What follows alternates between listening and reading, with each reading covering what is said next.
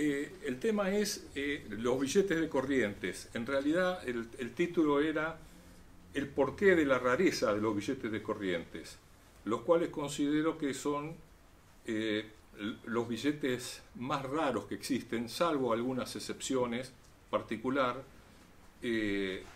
por la gran impresión que hubo desde los primeros años que se empezó a imprimir este es el periodo que va de 1826 a 1861.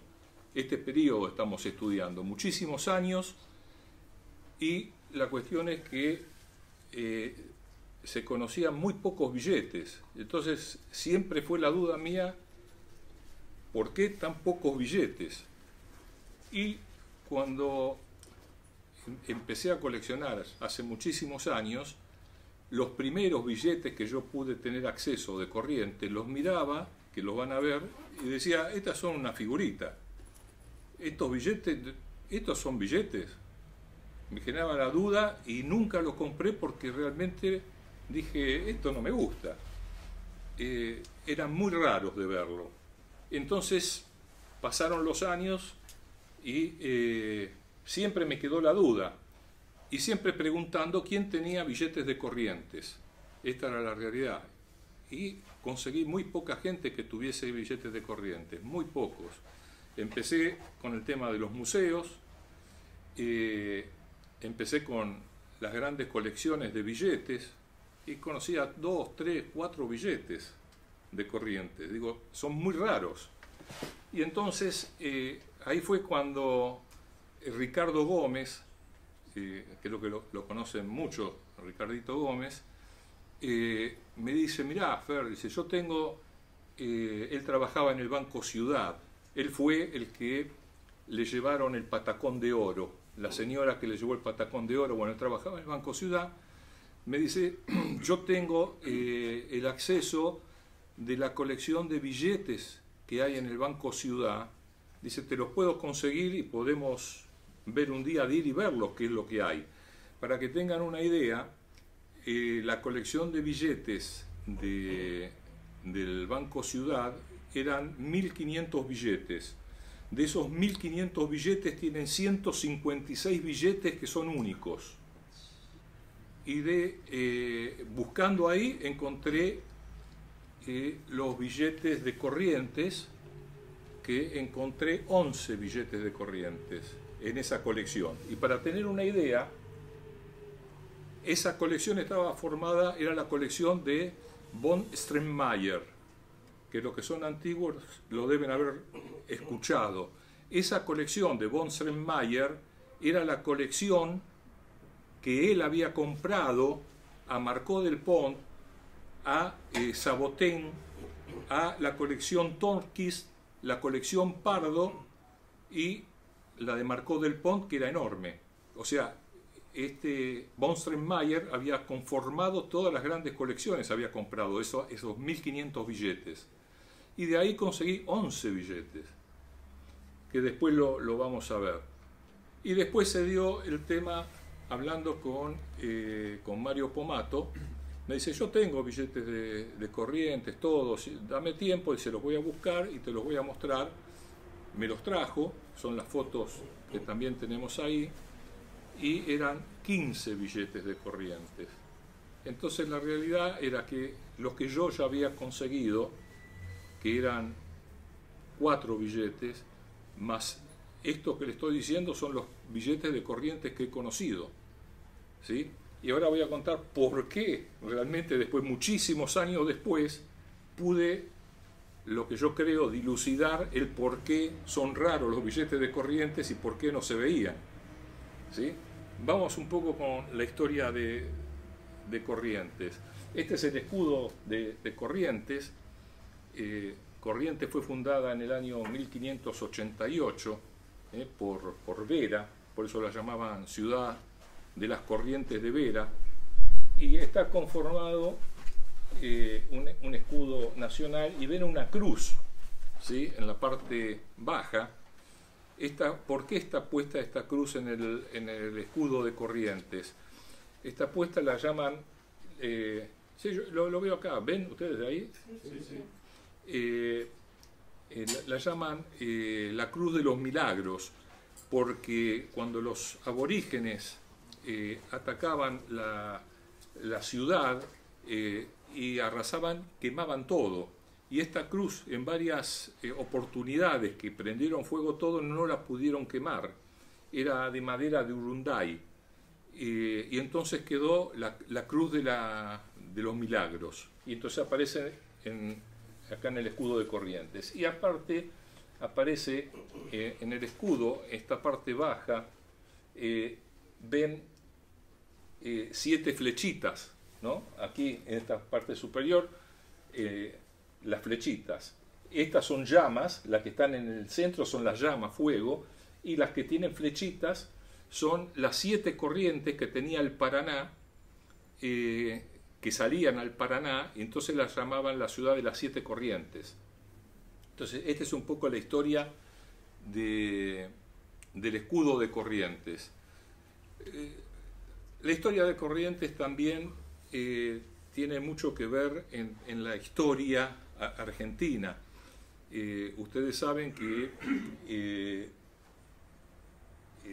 digamos, el, dominio rosista, la centralidad de la ciudad de, Buenos Aires respecto de, todo el resto del país no era aceptada y hubo grandes peleas, unitarios y federales, esto lo conocemos muy claramente, y que es lo, qué es lo que pasó en, todas estas eh, batallas que hubieron.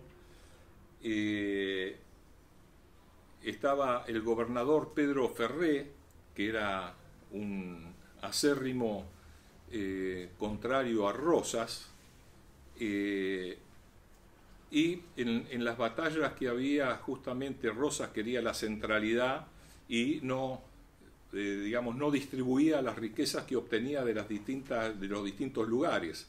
Entre estas peleas, Rosas lo que hace es el puerto de Corrientes, que era el principal puerto donde eh, se realizaba toda la, actividad, la construcción naval del virreinato, eh, y también la parte de tejidos del interior, que se autoabastecía toda la región, eh, empezó a eh, cerrarle, a bloquearle ese acceso, con lo cual le bloqueaba todo el ingreso que se, se aduanaba por el tema de la construcción naval. Y entonces toda la parte naval la llevó hacia el río Uruguay, entonces asfixiaba a, Corrientes. Y ahí empezaron una serie de batallas eh, que fueron batallas bastante bastante complicadas. Eh, Rosas manda, eh, lo que es la historia, manda a Urquiza eh, a, pelear contra los contracorrientes. En realidad también va Echagüe, que era gobernador de Entre Ríos, a pelear contra los correntinos. Y ya era gobernador Verón de Astrada. Y entonces eh, se producen, hubo cinco grandes batallas de, ejércitos correntinos eh, en, las cuales eh, Rosas manda a aplastar, hay toda una historia del general Paz, que estaba al mando también de, Ferré, de, Verón de Astrada, estaba con Fructuoso Rivera de Uruguay, eh, y Rosas que no quería justamente eso, porque estaba la, digamos, la conciencia artiguista de la libertad de los pueblos, y justamente era algo que eh, Rosas se oponía. Y la primera batalla eh, grande fue la de Pago Largo, el 31 de marzo de 1839, que realmente fue una batalla que, está, que quedó en la historia porque hubo 1.900 muertos del ejército correntino, de los cuales 850 fueron degollados directamente después de terminada la, la, batalla y está la famosa historia de Verón de Astrada que sí, aparte de matarlo, lo, lo, cuerean y parte del cuereado se lo llevan a, a Rosas. Eh, parte de eso fue justamente Urquiza, uno de los eh, generales que estaba eh, contra el, digamos, contra los correntinos. yo les quiero dar algunos datos para que tengan esto como idea, ¿no? en las grandes batallas de la libertad, para darle algunas, por ejemplo, en Suipacha, ¿sí? la batalla de Suipacha eh, conocida. ¿Cuántos muertos tuvo el ejército patrio, por ejemplo, contra los realistas? Uno, en Suipacha. 40 eh, realistas muertos. En Tucumán, 65 soldados patrios. En Salta, 103 soldados patrios. Esto yo para ponerlo en magnitud con lo que fue la batalla de Pago Largo, ¿no? Eh, Chacabuco, que para mí fue una de las batallas fundamentales eh, del ejército libertador patrio, hubo 12 muertos del ejército nuestro realista y hubo 500 muertos eh, realistas, del ejército patrio, creo que dije al revés. O sea que fíjense en la magnitud de lo que eran estas, eh, estas batallas. En estas cinco eh, batallas fue la primera la de Pago Largo, la segunda fue la batalla de, Quebracho Herrado y Famaillá, la tercera batalla, todas perdidas por los correntinos, fue la de Arroyo Grande, eh, la cuarta batalla fue la de Vences, todas estas batallas fueron en el orden de mil correntinos muertos en, cada una de estas batallas. Y en la quinta batalla fue justamente la del ejército grande en contra de Rosas, que fue en Caseros, donde eh, terminan derrocando a, Rosas. Este es un poco el, contexto histórico respecto de eh, lo que estaba pasando en, en el litoral, ¿no? Ahí para la quinta batalla cambió, eh, Urquiza cambió de lugar. Y ahí Urquiza, exactamente, tiene razón. por eso, con Brasil. Claro, exactamente. Por eso digo lo que es la historia, ¿no? Y otro dato, perdón, eh, de las batallas sangrientas, la otra que es muy sangrienta, es 1880, la que se da acá en Buenos Aires, en ah, Corrales. también, son las dos batallas más sangrientas de, la, de, la, de, lo que sean las guerras civiles Exactamente. argentinas. Corrales Viejo, Puente Urquiza, no sé qué se llama. El mismo muerto. Y, y estas son, eh, son, datos que no sabemos, conocemos un montón de batallas, pero nuestras dos son las más sangrientas. Exactamente. Esta, la, la de pago largo fue, eh, hay un, eh, un libro donde está el, la descripción, el desarrollo de lo que fue la batalla y cómo fueron degollados, todo realmente era tremendo, cosas que no pasaban con las batallas con los realistas, no, no, no eran eran, digamos, enfrentamientos más convencionales. En cambio, estos fueran tremendamente fratricida. Los números también son medios. ¿Mm? Los números son medios raros porque siempre vos ves tipo INDEC. Hay 5 y 500 muertos de un lado. Y pues se ah, sí, a los, prisioneros. Pero en Chacabuco. los muertos es por el degollar de los prisioneros. O claro, sea, es, eh, pero en Chacabuco, que es un trabajo que. Eh, Carlos, justamente en Chacabuco, que es un trabajo que estoy haciendo sobre Chacabuco y leyendo sobre eso, donde hay 12 eh, eh, soldados patrios fallecidos y 500 eh, realistas, realmente fue magnífica la... Exactamente. Eso está explicado realmente que fue, dice, una cosa increíble el desarrollo de esa batalla y cómo puede ser, porque encima el ejército realista era mucho mayor que el nuestro. se, tomaban prisioneros? ¿Eh? Se tomaban, prisioneros, sí, sí, sí. En verdad, en, la, en, pago largo los tomaron prisioneros, los digo ya. En la independencia, o sea, venimos con una España que controlaba su ejército a través de la moneda.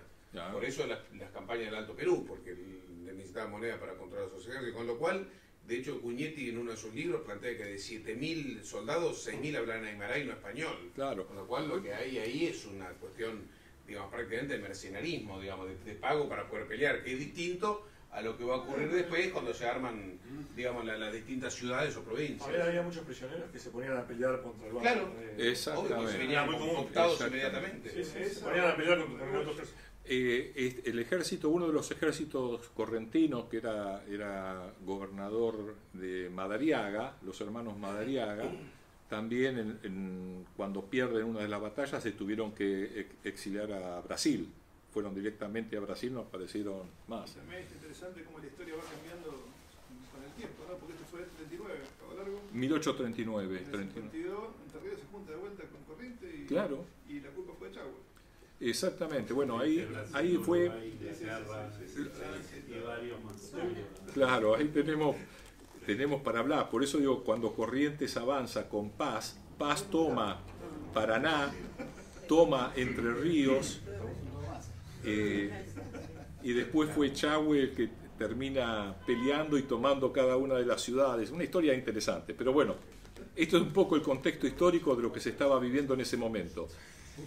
Eh,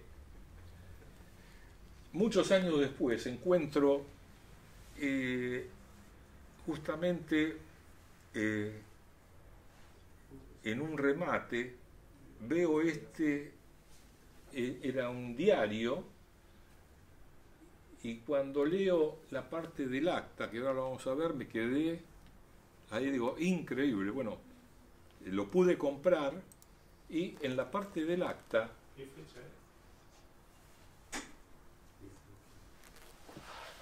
ese se alcanzan a ver en la ciudad de Las Corrientes a los 13 días del mes de julio del año de 1848 para dar cumplimiento al ordenado en el decreto del excelentísimo gobierno del 25 de febrero del indicado año, se reunieron en la colecturía general los señores de la comisión nombrada también por decreto superior del 4 de marzo del mismo año, que suscriben en la presente acta que da fe el escribano de gobierno y procedieron a la amortización, quemándolos, a la cantidad de los 1.352 pesos, dos y medio reales de la moneda corriente circulante, calculado sobre 47.046 pesos, tres reales, aduanados en el pasado trimestre y de los tipos siguientes. 500 pesos en billetes de 5 pesos, 1850 y dos pesos en billetes de pesos, dos billetes de a real y uno de a medio real. Firmado eh, La Torre, Montiel, Torrent y Ruda.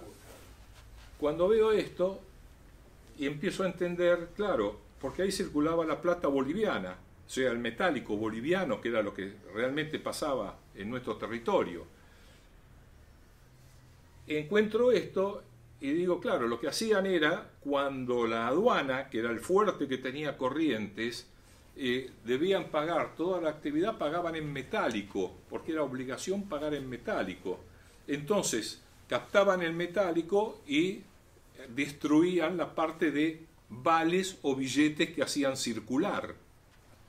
Entonces ahí dije, bueno, entonces esta es una de las razones de por qué eh, no se encontraban billetes, ¿sí? O sea, ¿por qué eran tan pocos los que se encontraban? Porque los quemaban directamente a medida que los iban, eh, como dice ahí, aduanando, hacían el intercambio. Eh, en esta misma acta,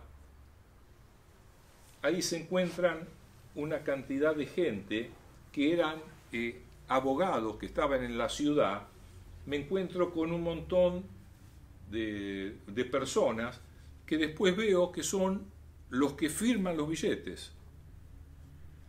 Varios de los que están acá ahora los van a ver.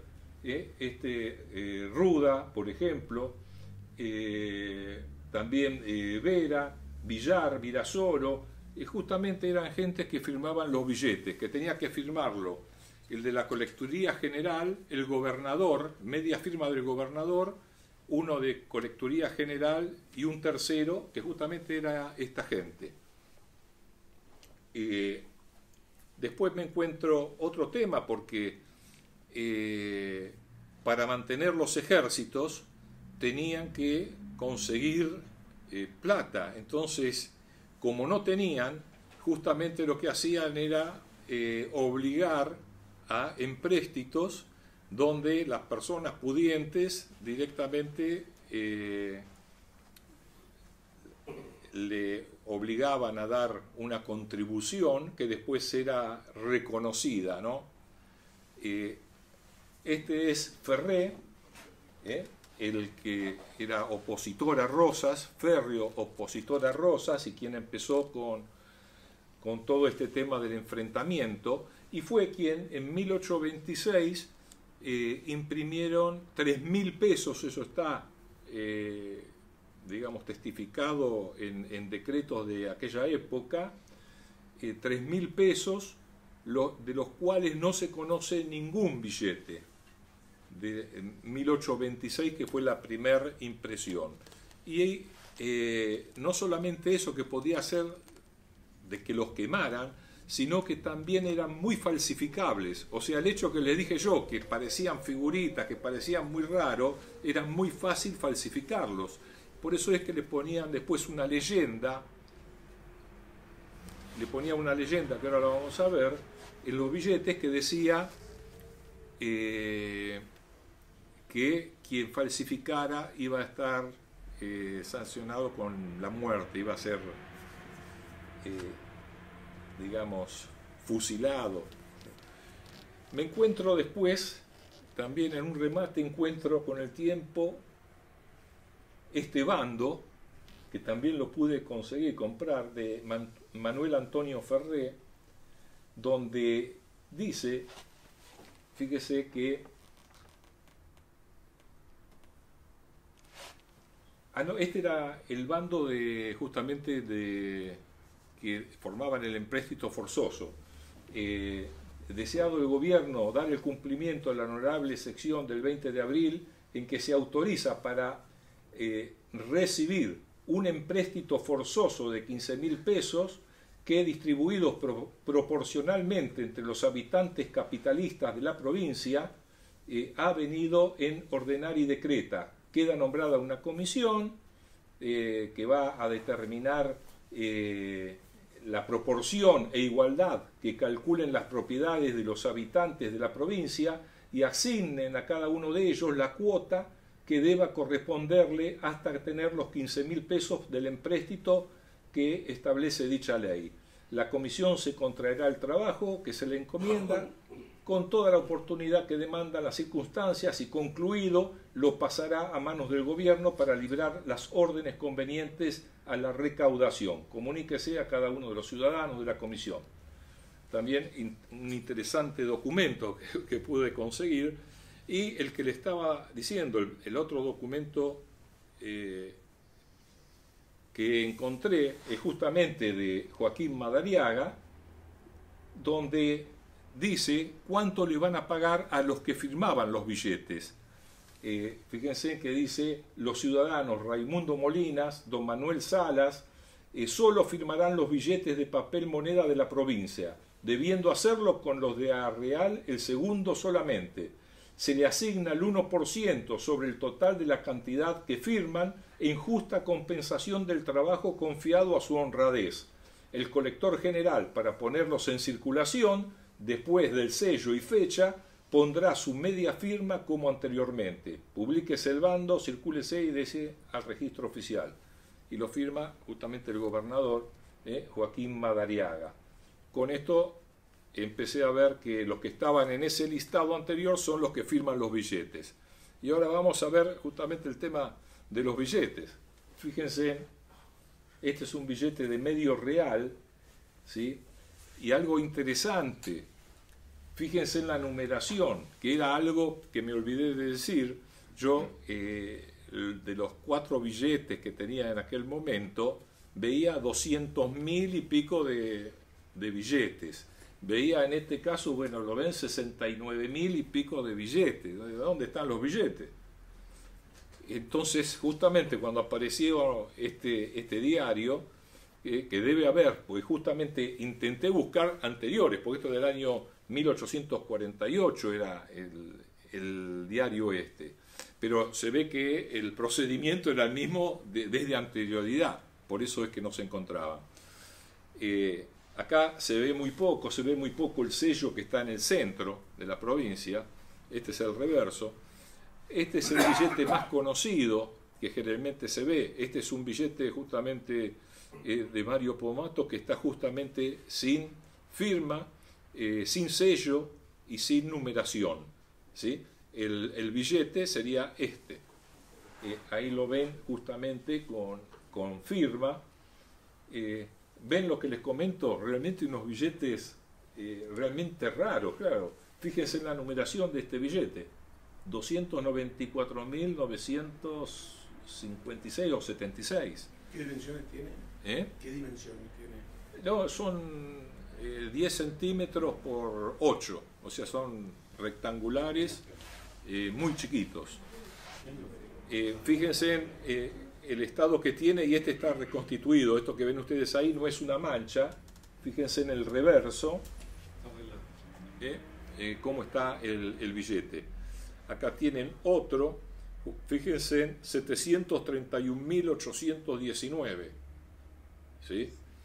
Eh, es otro billete de, Arreal, también muy interesante. Y ya empezaron a aparecer este tipo de billete, justamente de, un peso, lo que les comentaba antes, eh, abajo ven eh, eh, la ley castiga con pena de muerte al falsificador y cómplices. ¿sí? estos se, imprimían en, en, una imprenta de los dominicos, que es donde actualmente está el Consejo Deliberante de la ciudad de Corrientes. Eh, eh, en este caso, fíjense, no estaba el sello como marcaba el, decreto, sino que lo ponían en el reverso. Eh, y realmente unos billetes muy, muy llamativos. Esa es moneda corriente, ¿no? No es un peso. Claro. No sabemos cuánto era la. No. Ah, algo interesante. estos billetes, ¿sí? eran 17 pesos, era considerado una onza, de, oro. No, pero ese no, sería... sin respaldo. Sin respaldo. Sí, claro, sin respaldo. En el, en el medio del... En, el medio de, la, de estas batallas que le comento del ejército, en, en la, primera situación, eh, tenía que dar 17 billetes y me daban una onza de oro. Al poco tiempo tenían que dar 132 billetes para dar una onza de oro. O sea, como directamente se, se les depreciaba el... Porque Buenos Aires en esa época era más o menos 25 a 1. 25 a 1, exactamente. Eh, la situación que desde el punto de vista eh, de las batallas realmente estaba en una situación eh, muy mal eh, la ciudad de Corrientes, o sea, la provincia de Corrientes. ¿no? Eh, seguimos, fíjense, este billete, si lo alcanzan a ver, que parecen arabescos, ven en la parte allá, dice 1843, en forma... Ahí. Y fíjense en los, los, dibujos realmente que tienen, que son realmente muy lindos. Claro, yo veía esto que tuve alguna vez oportunidad de verlo, digo, esto no, son billetes. ¿Y el papel es papel corriente o papel algodón? Eh, no, no, es papel corriente, no, no, no, es, no es de algodón. Incluso, fíjate, los estados se, se destruyen directamente solo. Van a ver que hay algunos que están eh, realmente muy, muy mal estado.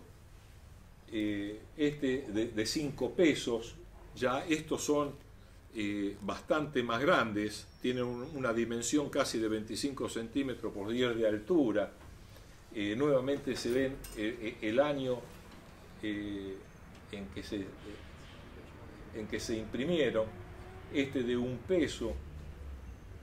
Lo, fíjense, ahí está lo que le mostraba Ruda, que era el que estaba, y, y, Madeiro, Cano, los tres que estaban justamente en el, en el decreto que eran los que estaban firmando. Fíjense cómo está escrito, que, el falsificador y sus cómplices van a, están penados con pena de muerte por falsificar.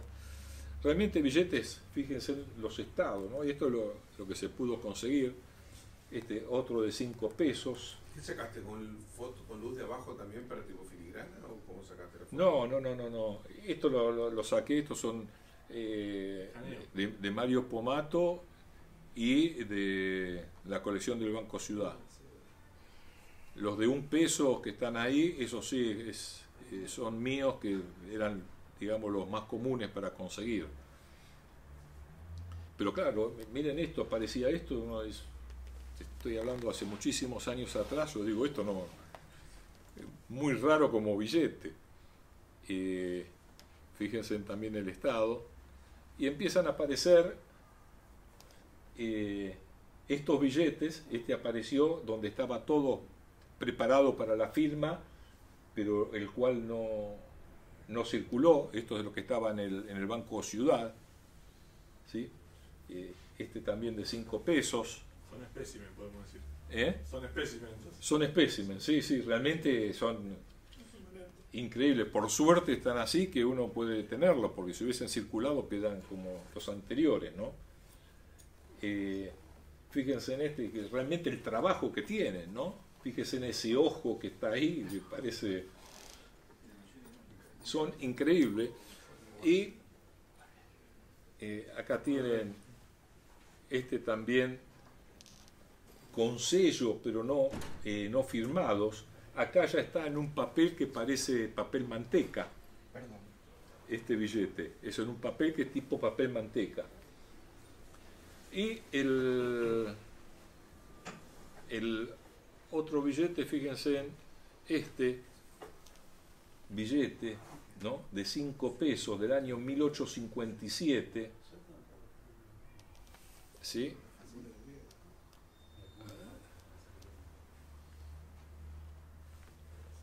Este, ¿por qué está puesto así? Porque algo que encontré de, de, casualidad, que también estoy buscando un poco más de información, pero que realmente es increíble. ¿Cuál fue la primera estampilla eh, que circuló en Argentina, la cabecita de Corrientes.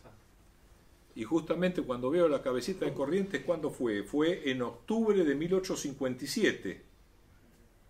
Y justo me encuentro acá, justamente, la cabecita... Debe ser la misma imprenta.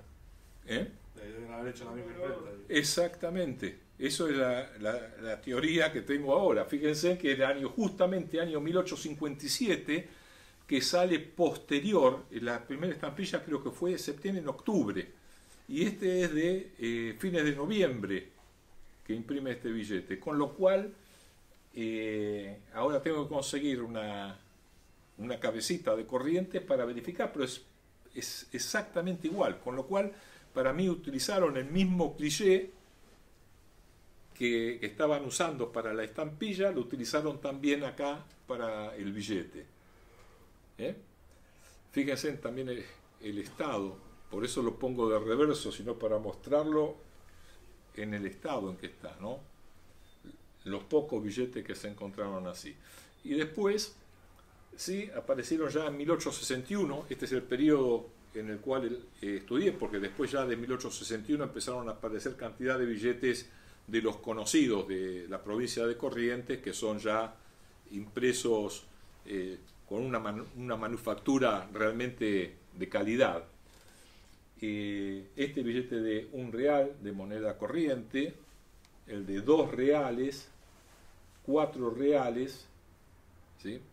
y también en 1861 eh, el de un peso, fíjense en que estos son todos sin circular, o sea, no, eh, espécimen, ¿no? en realidad, el de cinco pesos, el de 10 pesos y el de 20 pesos, toda la serie.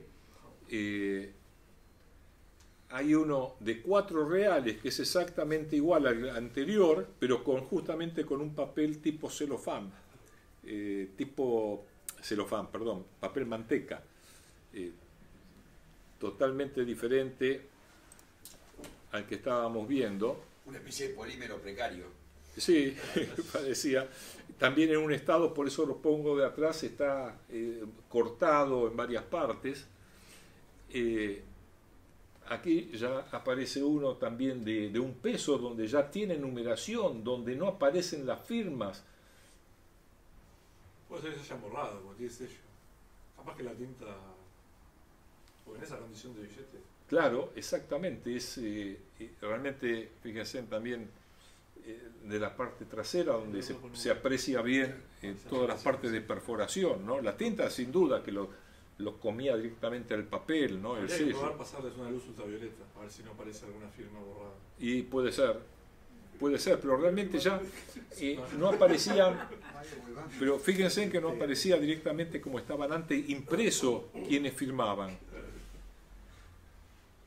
Y después tenemos este también, de 10 pesos, 1861, sí, con firmas no impresas, y, con el escudo, tal como marcaba el decreto que tenían que ser el Estado, nuevamente como les dije antes, fíjense, son billetes que están bastante dañados, y lo bueno, los últimos que aparecieron son este de 5 pesos, también en espécimen, 10 pesos, 20 pesos, y terminó. Realmente. Eh, con esto, en, definitiva, fue una satisfacción personal el hecho de, eh, de encontrar eh, el por qué son tan escasos, ¿no? Porque sumemos todo lo que le estoy diciendo, estos son los billetes conocidos. No sé, Mariano puede ser que... Tengo algunos, sí, no sé si tengo distintos. los de Bauman. Los de Bauman. Claro. Eh, hay que compararlos, tengo varios, pero no. Estos que están acá.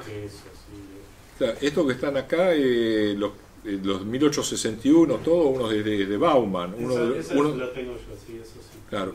Y uno, uno de esos eh, justamente me lo facilitó. Eh, me lo facilitó, se lo, se lo compré a Luisito Lañado, que lo tenía también eh, que lo había conseguido. Pero billetes, si sumamos la cantidad de billetes, no pasan de 50 billetes en todo lo conocido.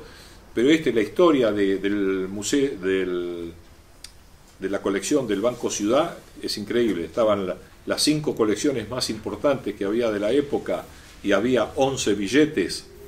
Es hecho en época, creo, lo que llevó el Banco Ciudad, la de Marco del Pont, supuestamente ya en la época, más o menos en esa época, o sea, es casi contemporáneo. Claro. Empezó a guardar las cosas. Claro, exactamente. En 1850 y pico, por ahí ya estaban los marcos me parece. Y sí. O, eran del padre, o. No, quién era, no era el padre de José, era el de la Bueno, pero capaz que era claro, no. el padre. Y, no, que se pasó, se pasó de familia, así el padre. Seguramente. Entonces, bueno, este fue un poco, un poco el tema de, del trabajo y cuando aparecieron estos documentos que siempre aparecen así por casualidad, eh, se fue armando un poco el rompecabezas, ¿no? Este, este lo, como lo, conseguí en la casa esta de remate eh, Bullrich, que aparecieron pero de, casualidad y porque alguien me lo alguien me lo, me lo comentó, que lo vio. Así que bueno, este era un poco la presentación del trabajo. Así que gracias.